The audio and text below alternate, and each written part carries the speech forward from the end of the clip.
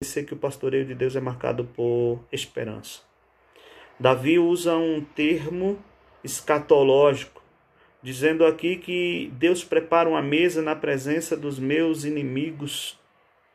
Ele unge a minha cabeça, o meu cálice transborda, e certamente a bondade e a misericórdia do Senhor me seguirão todos os dias da minha vida.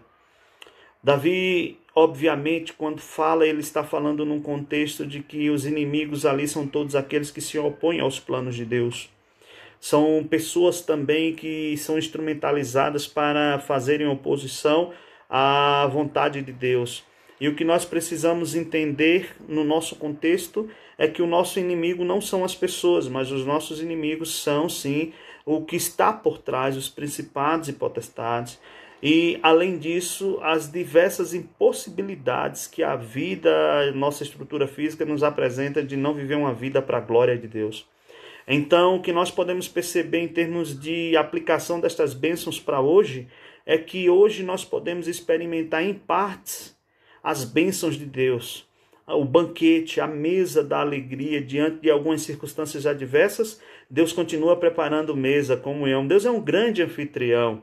E isso deve gerar esperança em nós, a esperança de dias de alegrias, dias melhores aqui nesta terra, mas a maior esperança é a volta de Jesus, a volta escatológica de Cristo. Ele virá, mais uma vez ele virá e virá eternamente para inaugurar o grande banquete para nós.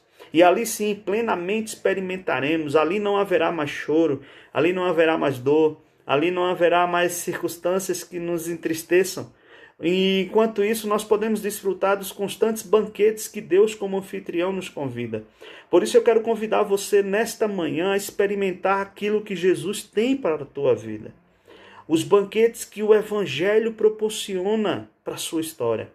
Somente em Cristo, somente na palavra de Deus é que você vai encontrar o verdadeiro banquete. Um banquete que transborda o cálice e um banquete que alivia as suas dores. Quando Davi diz ele unge a minha cabeça com óleo, eu gosto muito de pensar na ação do pastor, literal, tirando os carrapichos das ovelhas. Derramava ali azeite para que servisse como um anestésico, para que ao tirar o carrapicho não doesse. Isso significa, nesta leitura, que Deus sabe como tratar as nossas feridas. Deus sabe como tirar os carrapichos da nossa vida. Muito melhor do que qualquer outra pessoa, Deus é especialista em trazer anestésico e tirar aquilo que nos causa dor, aquilo que nos incomoda. E quando nós falamos da alegria do cálice que transborda, a maior expressão de alegria em nós foi o transbordar do sangue de Jesus na cruz do Calvário aquilo que garantiu para nós todas as bênçãos de Cristo, aquilo que garantiu para nós a alegria e a plena satisfação de estar com Cristo. Mas tem uma aplicação além disso que já é tremendo. Tem a aplicação de que aqui nós podemos desfrutar de momentos de alegria. Cálice, ele comportava o vinho, e o vinho simboliza também a alegria, e a alegria que Cristo tem para nós é uma alegria transbordante, não é só para nós, mas que sirva para todos que estão na mesa. Na realidade, vamos refletir: a mesa é um lugar de comunhão coletiva. Não é apenas para mim, mas é para todos aqueles que estão à minha volta. Desta, for, desta feita, o nosso Senhor, Ele quer transformar a nossa realidade e a de todos aqueles que estão à nossa volta. Por isso, creia nesta palavra e que você possa viver a bondade e a misericórdia do Senhor todos os dias da sua vida, como Davi diz. Por isso, por causa da justiça de Deus, por causa do Deus que faz as coisas por amor ao seu nome, é que a bondade e a misericórdia do Senhor nos segue todos os dias da nossa vida. E por causa disso nós poderemos voltar a habitar eternamente na casa do Senhor. Por isso eu convido você que ainda não teve essa iniciativa.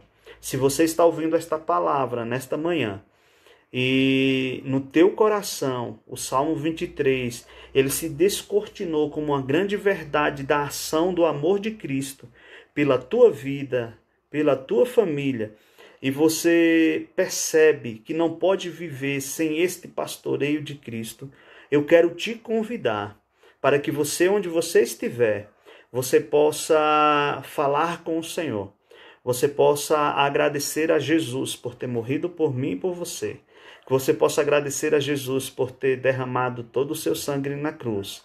E que você possa convidá-lo para que neste momento você possa se alegrar juntamente com a sua família e fazer parte de uma grande família de Deus. E se essa é a sua realidade, e se nesse momento você está sentindo no teu coração e compreende esta verdade, eu quero te convidar também a fazer contato conosco aqui pela nossa página do Facebook,